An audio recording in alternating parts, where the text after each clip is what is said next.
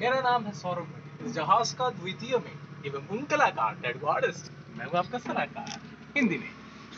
स्वागत है L training series में। आज का विषय line throwing apparatus L T L T A क्या है? कहाँ पे मौजूद होता है? जहाज़ पे कम से कम कितने होने चाहिए? स्वागत है नेविगेशन ब्रिज पे। एल होता है नेविगेशन ब्रिज पे। नेविगेशन ब्रिज यहाँ पे आपको सारे पायरो टेक्निक्स एलएसए नज़र आ रहे हैं। ये आपको दिख रहा है, ये है एल कितने होने चाहिए? चार। ये एलटीए होता क्या है? क्या है इस डब्बे के अंदर? ये आप कंटेनर देख रहे हैं। इसके अंदर एक रस्सी कितनी लंबी? कम से कम 230 मीटर की, जिसका ब्रेकिंग स्ट्रेंथ कम से कम कितना होना चाहिए? टू किलो न्यूटन वो रस्सी है और वो किससे जुड़ी हुई है? रॉकेट से. रॉकेट उड़ता है, साथ में रस्सी को ले जाता है. इतना काम है इसका. ठीक? क्या ये पायरोटेक्निक है? आपको है हैंड फ्लेयर पायरोटेक्निक है. रॉकेट पैराशूट पायरोटेक्निक है. क्या ये भी पायरोटेक्निक बिल्कुल. पायरो का अर्थ आग, चिंगारी. इसमें रॉकेट है. ये पायरोटेक्निक है. इसका वर्किंग प्रिंसिपल क्या है? न्यूटन थर्ड लॉ किस प्रकार से प्रयोग करते हैं? सबसे पहली बात, इसको बाहर बाहर से देखिए नियम है कि इसकी केस पे इंस्ट्रक्शंस होने चाहिए पिक्टोरियल फॉर्म में। निर्देश होने चाहिए चित्रात्मक रूप में, ठीक है? पिक्चर्स बने हुए। इस प्रकार से निर्देश होने चाहिए। किस प्रकार से प्रयोग करते हैं? इसको पकड़ा 45 डिग्रीज पे रखा क्यों 45 डिग्रीज पे रखते हैं? 45 डिग्रीज पे मैक्सिमम रेंज मिलती है, इसलिए। 45 डिग्रीज पे रखा।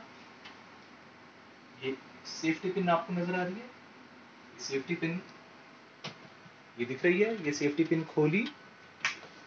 सेफ्टी पिन को दबाया सेफ्टी पिन खोली और फिर ये ट्रिगर कर दिया।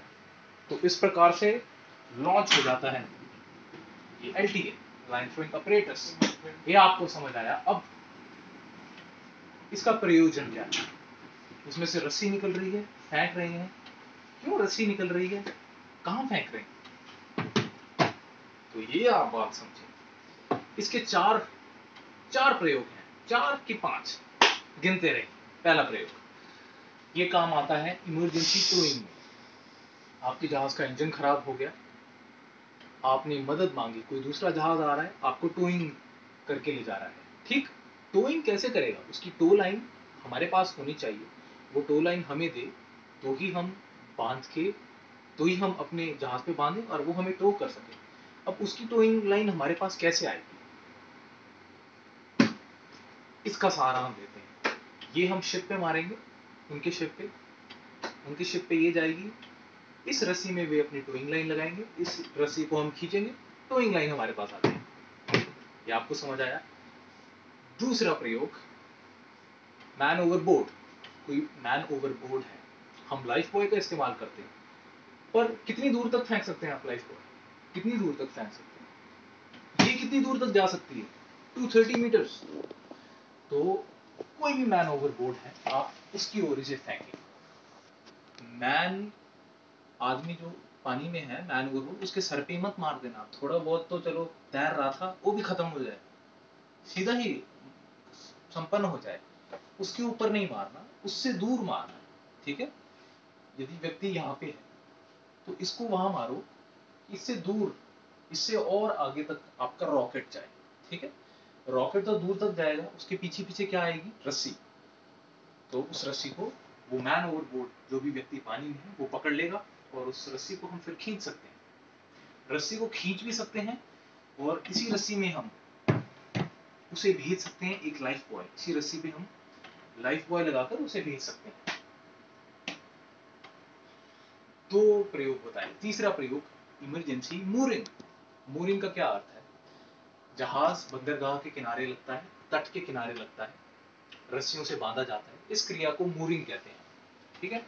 कभी कभी इमरजेंसी सिचुएशंस में, आपातकालीन स्थिति में रफ वेदर और कोई पोर्ट में समस्या है, बंदरगाह टूटा हुआ है, किनारे में कुछ समस्या है, नाना प्रकार की परिस्थितियाँ आ सकती हैं। मूरिंग में इमरजेंसी में, हम इसका प्रयोग कर सकते हैं। मूरिंग का मतलब हमें अपनी अपनी शिप की रस्सियाँ देनी है, जो किनारे पे हैं उन लोगों को। उन लोगों को हम देते हैं, वो उन रस्सियों को बांधते हैं। हम नहीं दे पा रहे किसी कारण तो हम क्या करते हैं, इसका प्रयोग करते हैं। हम इसे इसे टारगेट करेंगे लैंड पे, तट पे, ठीक है? और इसके सारे हम पास कर देंगे अपनी मूरिंग लाइन्स ठीक? और इसका क्या काम है? ब्रीचेस बॉय ब्रीचेस बॉय को डिप्लॉय करने के लिए इसका प्रयोग होता है। ब्रीचेस बॉय क्या है? ब्रीचेस बॉय की आप तस्वीर देखें गूगल पे। ब्रीचेस बॉय एक प्रकार का बास्केट है। ठीक है? उस बास्केट में व्यक्ति बैठता है और एक स्थान से दूसरे स्थान तक पहुँच सकता है। मान लीजिए एक जहाज़ डूब रहा है या डूब चुका है, यानी कि एक शिप रैक है, उस पर एक सर्वाइवर है, उसको हमने अपने जहाज़ पे लेके आना कैसे लेके आएँगे? उस जो शिप रैक हो रखा है, वहाँ पे ये इसे टारगेट करके लॉन्च करें। वो जो सर्वाइवर होगा वो इस रस्सी को पकड़ लेगा। अब इस रस्सी पे हम लगाएँगे। इस रस्सी के द्वारा हम लगा सकते हैं ब्रीचेस बॉय। आपको ज़्यादा अच्छा समझ आएगा यदि आप एक बार तस्वीर देखें तो तस्वीर देखें। ब्रीचेस बॉय का काम समझ आया। ब्रीचेस बॉय डिप्लॉय करने के लिए इसकी आवश्यकता है। और क्या कार्य लॉजिस्टिक ऑपरेशंस लॉजिस्टिक ऑपरेशंस में ये काम आ सकता है। लॉजिस्टिक ऑपरेशन मतलब एक शिप से दूसरे शिप पे हमने ट्रांसफ़र करना है कुछ सामान। कोई क्रेट या किसी नेट में कुछ प्रोविजंस हमें ट्रांसफ़र करने हैं।